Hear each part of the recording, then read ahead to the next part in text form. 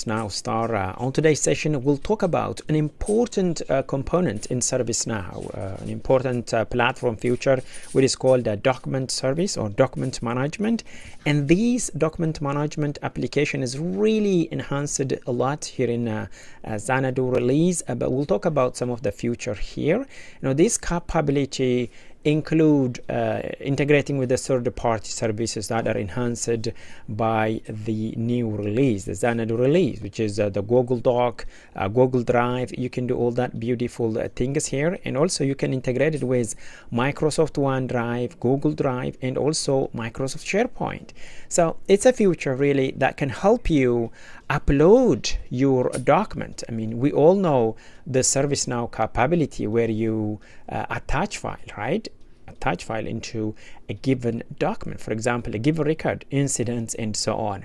But this feature, you know, will help you to attach or upload one file and keep it in one area and you can reference that document in multiple areas so it's really cool uh, it give you a control you know to the owner who can owner it's there. So they have a control of um, it could be the visibility not only that also who can see it who can access it. And also if you want to terminate at any time you can also do so now I will at the end I'll show you you know how can you install that plugin but let's take a look at this feature first before we go deeper here, I am Mohammed Rashid Kamal, a certified technical architect.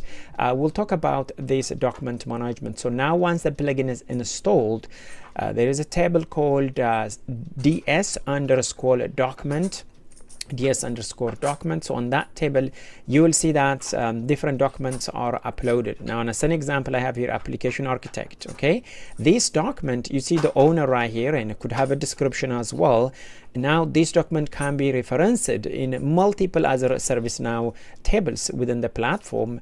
And also not only that you can also share it outside ServiceNow using a link. And and the cool part here is that not only sharing you can put uh, like a life cycle on it. Like okay let's say you share one link in the previous time you share one link you that link is going to be accessible right forever okay? It's a security risk. But you can put for example after one month go ahead and expire the link. Then it will go ahead and expire that link for you.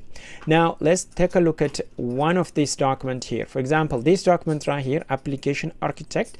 Uh, once this document is uploaded into ServiceNow you see that um, you can download the artifact you can share it you know if I click share it can create hyperlink for me with the access that I provided right here and then it can be shared to anyone within the platform or outside okay? Now this is the category. You can provide a different category within the platform and also it will keep track of the version that is approved. And then here currently i have version 1.0 and description is empty. That's why you see here i don't have description in a list view but if i have that you will be able to see that. Now this is the very cool part which is access setting okay uh, now in access setting, you can put, um, it's referenced by a record, which means I have a check mark right here. Any record refer can reference this document directly.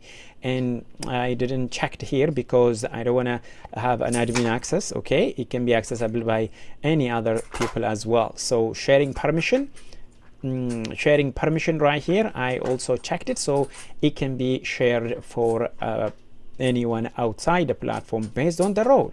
Now, here is a group permission right here. This group permission who own it, you can see that the enterprise architecture own it. You can set those, that's the owner, okay? You can put more roles there and this is the versioning that I have currently 1.0 I have. And if you have more version within this document okay you can keep track of.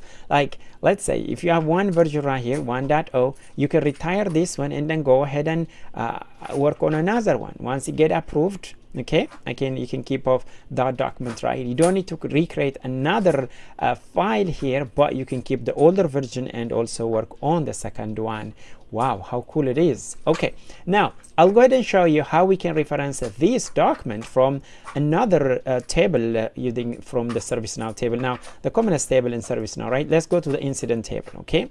Now in the incident table right here abel tutor right? This incident table and i created a custom field called document okay it's referencing directly to that table and then if you see right here the reference uh, okay yeah it is directly referencing and then you see the application architecture already referenced okay now I can change this one to another document.